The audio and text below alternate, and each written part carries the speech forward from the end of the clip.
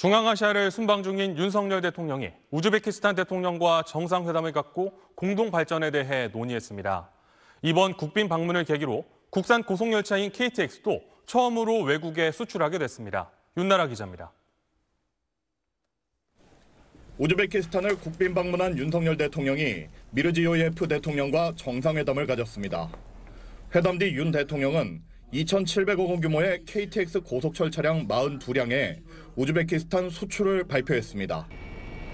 지난 2004년 프랑스 지원으로 KTX를 개통한 지 20년 만에 첫 수출입니다.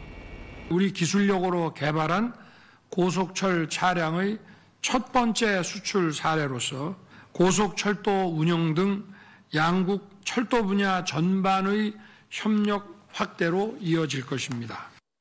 두 정상은 올 하반기 입찰 예정인 타슈켄트 안디장 고속도로 등 약 7조 3천억 원 규모의 인프라 사업을 우리 기업들이 수주할 수 있도록 협조하기로 했습니다.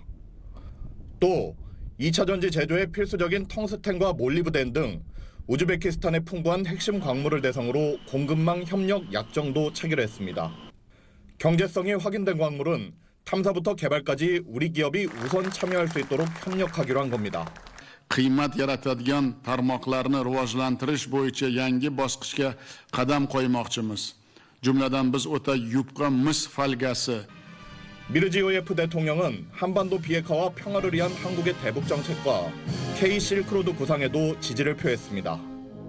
대통령실은 이번 3개국 순방을 통해 중앙아시아 국가들과 전략적 동반자 관계를 강화했다고 평가했습니다.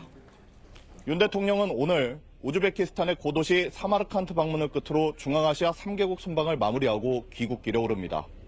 우즈베키스탄 타슈켄트에서 SBS 윤나라입니다.